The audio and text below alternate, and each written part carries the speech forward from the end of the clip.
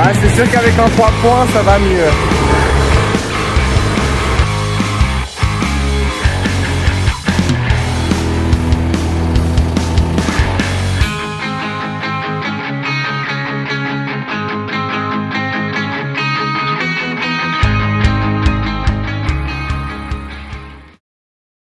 Bonjour à tous, aujourd'hui on est vendredi 23 août et puis là il est à peu près 18h et on a pas mal de boulot qui nous attend. Aujourd'hui dans le but de cette vidéo c'est qu'on sème le colza ensemble et puis je vous montre un petit peu à quoi ressemble le champ maintenant. Bon il n'avait pas été touché, il y a toujours les chaumes de blé là-dessus. Du coup là ce que je vais faire c'est que je vais prendre le McCormick, je vais faire le plein s'il y a besoin, je vais crocher la masse et le carnaire, enfin le déchaumeur à dents et puis j'ai 6-7 hectares à faire. Allez je vous emmène avec moi. Ah, c'est sûr qu'avec un 3 points, ça va mieux.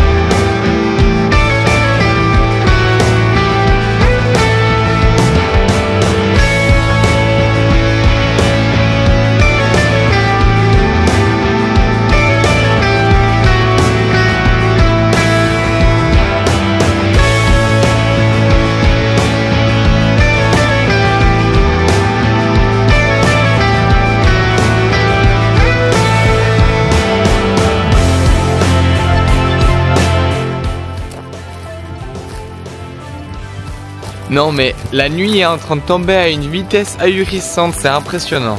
Du coup, moi qui pensais qu'on allait passer le carnaire, au final ça s'est pas fait. L'histoire c'est que la terre est tellement dure, on l'a pas travaillé depuis un moment. Et puis en fait, du coup, le chisel n'arrive même pas à rentrer dans la terre, c'est pour vous dire. Du coup, j'ai essayé de faire en sorte que les dents devant piquent un petit peu plus pour que ça puisse rentrer dans la terre. Et puis au final, ça donne vraiment rien, c'est compliqué de jauger. Mais du coup, il n'y a pas de souci, on avait le 5H avec la EVA qui était croché. Et du coup, avec la RSA 10, ça rentre beaucoup mieux dans le sol. Regardez-moi le résultat, je vais vous montrer ça. Et ça, c'est avec la RSA disc, c'est beaucoup mieux travaillé, mis à part ça. Bon du coup on a changé de planning, le but ça va être de faire tout ce champ ce soir et si tout se passe bien et qu'il n'y a pas de modification, demain matin on va semer l'accompagnant, passer le compile et après semer. Donc voilà, vous avez le planning de la vidéo et puis on va voir si ça va changer entre temps ou non.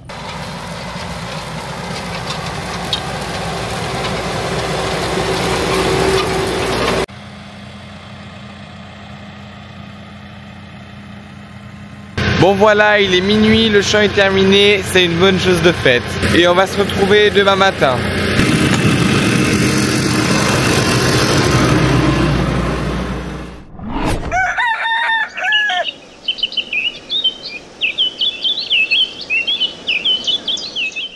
Bon voilà, maintenant on se retrouve, on est de bon matin. Du coup le programme de la journée, mon père est en train d'accrocher l'alpine avec le smart à engrais. Moi je vais accrocher le compile.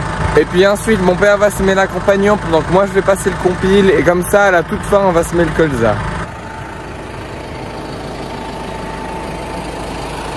Voilà, le compil a été croché, on a sorti de l'hangar. Là, ce qu'on va faire, avant de mettre l'accompagnant pour le colza, on va aller dans une autre parcelle de 4 hectares. Dans cette parcelle, il y avait eu du colza l'année passée et là, on va semer un couvert jusqu'à la prochaine culture.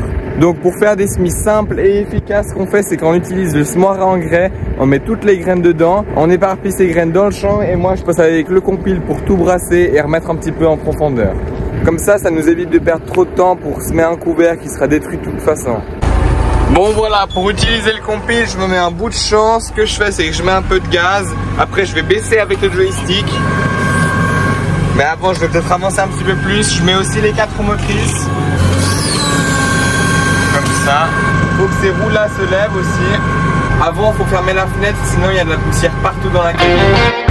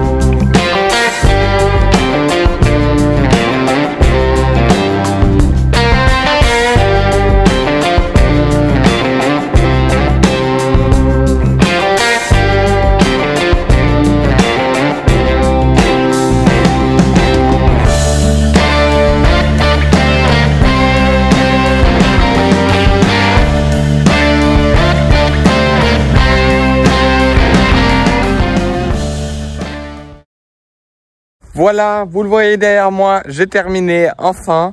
Mine de rien, ce McCormick avec le compile, ça donne un bel ensemble. Et puis au niveau du résultat, on est très content. Il y avait pas mal de cannes de colza encore qui étaient debout. Et puis bah, je sais pas si vous allez voir, mais il y en a plus beaucoup. Ça, c'est grâce à la conception de ce duro.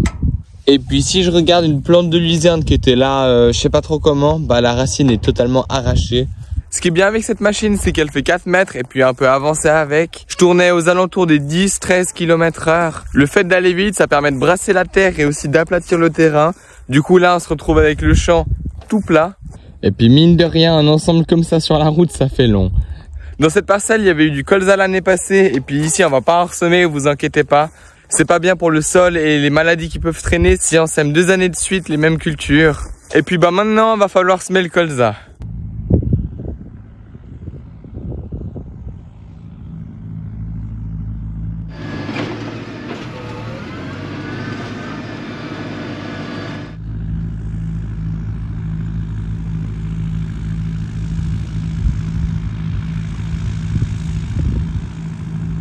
Voilà comment on se retrouve aujourd'hui, mardi 27 août. Ça fait un moment que je vous ai pas repris. Bon, en fait, ça fait pas si longtemps que ça. La dernière fois que je vous ai pris, c'était samedi.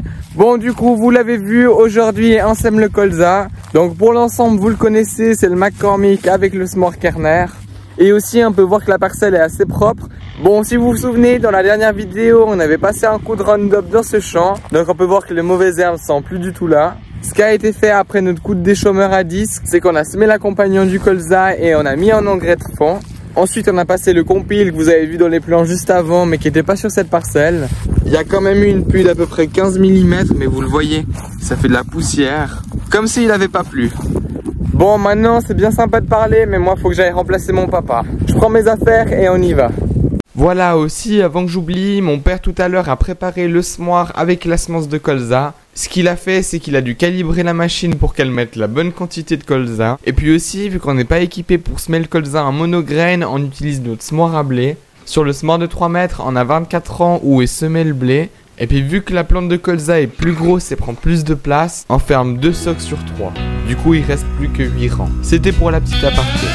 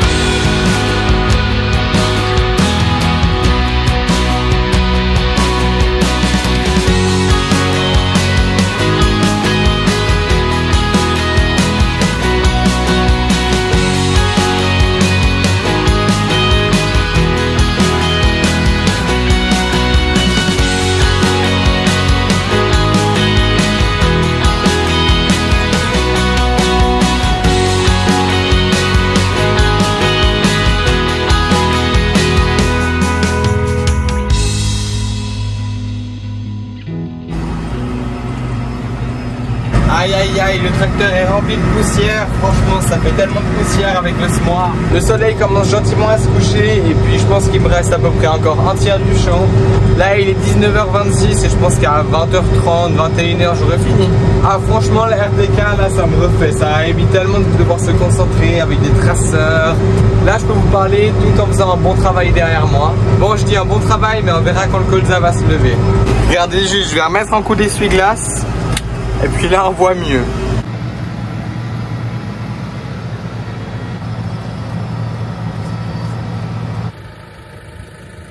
Bon voilà, vous le voyez derrière moi, le tracteur et le semoir. Donc on a fini de semer le colza de nuit, il est à peu près 21h, 21h30.